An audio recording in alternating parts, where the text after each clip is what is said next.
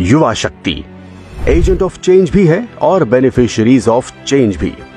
इसीलिए सरकार ने देश के हर युवा को विकसित भारत के एक्शन प्लान से जोड़ने के लिए शानदार पहल की है।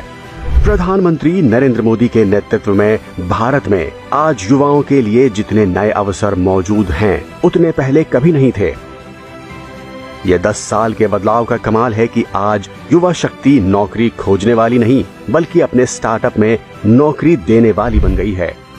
ये दस साल के बड़े बदलावों का ही कमाल है कि आज डिजिटल क्रिएटर्स के रूप में एक बहुत बड़ा क्रिएटिव युवा वर्ग हमारे सामने हमारे सामने है। देश के युवा अब ग्रीन इकोनॉमी को आकार देने में भागीदारी निभा रहे हैं और यूनिकॉर्न्स बनाने के सपने देख रहे हैं। 2014 से पहले देश में डिजिटल इकोनॉमी का शायद ही किसी ने नाम सुना था। लेकिन ये 10 साल के बदलाव का कमाल है कि आज भारत दुनिया की डिजिटल इकोनॉमी में अग्रणी है।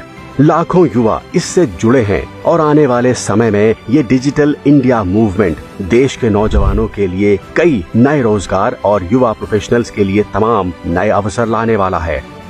ये 10 साल के बदलाव का कमाल है कि आज मेड इन इंडिया अभियान की ज़बरदस्त सफलता, रिकॉर्ड मैन्युफैक्चरिंग और रिकॉर्ड एक्सपोर्ट जैसी ऐतिहासिक उपलब्धियों के साथ देश आत्मनिर्भरता की ओर बढ़ रहा है।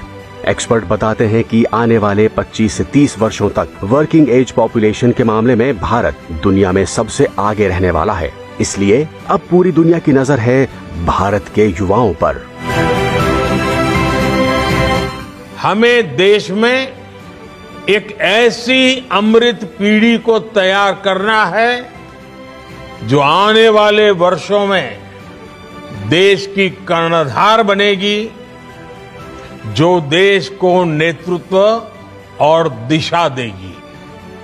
हमें देश के एक ऐसी नौजवान पौध को तैयार करना है, जो देश हित को सर्वोपरि रखते जो अपने कर्तव्यों को सर्वोपरि रखें।